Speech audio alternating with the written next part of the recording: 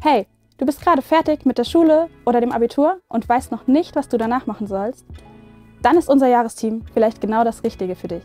Hier kannst du zusammen mit anderen FSJ-Lern dich in neuen Bereichen ausprobieren und Neues einfach erlernen. Du kannst ein Jahr für Gott und mit Gott unterwegs sein. Dein FSJ kannst du machen in vier Bereichen. Einmal der Hausmeisterei, dem Kinder- und Jugendbereich, der Rezeption oder dem Housekeeping. Wir freuen uns, dich kennenzulernen.